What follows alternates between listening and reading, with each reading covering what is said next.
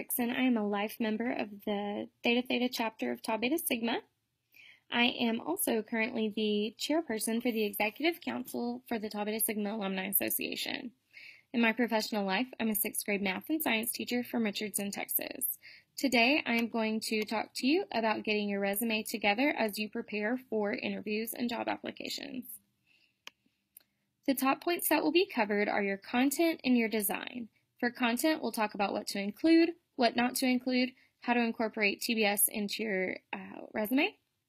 And then for design, we'll talk about template, pages, sizing, and placement. We'll start with the content. It's the important stuff that you want to make sure is correctly conveyed. You will need to include your name, contact information. You'll also include an objective statement. It's essentially your thesis statement or why you want that job. Something that is a strong selling point for you, kind of like your elevator pitch. You'll also have a section for your qualifications and skills that are relevant to the job that you are applying for.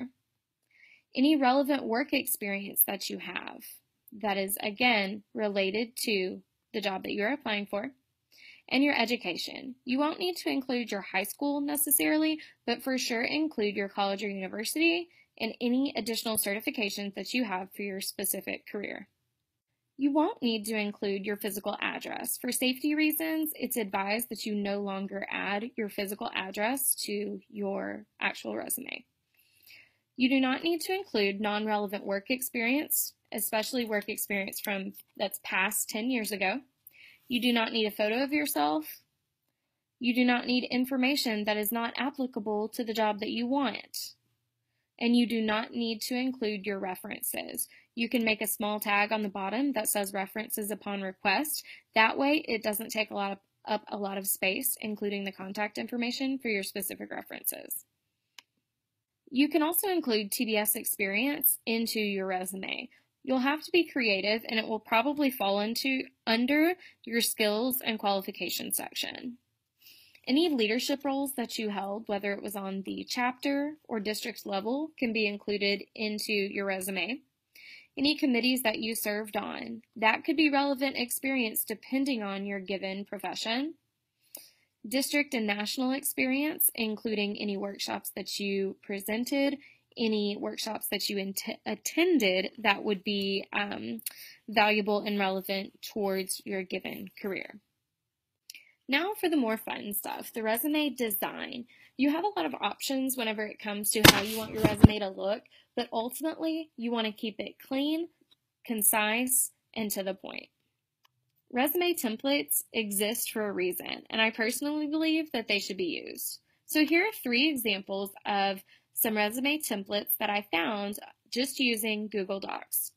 You can see that on all three of these resume templates, your name is the largest and most bold feature because ultimately that's what you want your potential employers and your potential interviewers to remember. Each resume template here is laid out just a little bit differently, but they all have qualities that make them look clean, that get the information across, and look professional. Now, for the design, it's really preferred that you keep your resume to one page. Now, if you have a lot of experience or if you've got different um, skills and qualifications that take up a bit of space, keep your resume to no more than two pages. You don't want your potential employer having to read five or six pages. When you go to print your resume, use a thick paper. This shows professionalism, and if you have more than two pages for your resume, print on both sides. That way, it's just handing over one sheet of paper to in your interview. For sizing, your name, just like on those examples, should be bold and obvious. You want them to remember your name. You can utilize different font sizes, colors, whether it's bold, italicized, underlined, all the different features to highlight different sections on your resume. Use it to your advantage. Be creative, but don't go overboard. One thing that I find to be tricky is knowing where you want different sections placed. In my opinion, your name and contact information should be at the top. it should be right there where they don't have to go searching for it. And the next, very next thing should be whatever you find most important for your given career. For me, my objective statement is first thing after my name. I want, I'm proud of the statement that I've come up with, and I want that to be a selling point. Right underneath that, I have my skills and my qualifications, then my work experience, and my education last. I've been out of college for a while, and I have my I feel that my experience and my skills are more important than where I went to college. Remember, this is your chance to impress your interviewers before they meet you.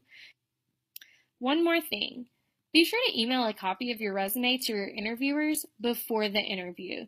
This will allow them to review and print the resume for themselves, so that way when you're in, in the interview, they're not trying to hurry up and read your resume. They can look you in the eye and have a conversation with you. Now, it's always good to keep extra copies in a file folder or in a folder of sorts that you bring with you, just in case they didn't get a chance to print it out themselves. Thanks so much for tuning in. If you have any questions or anything that you'd like more information on, you can certainly reach out to me at katierixon at tbsigma.org, and I would love to continue the conversation with you.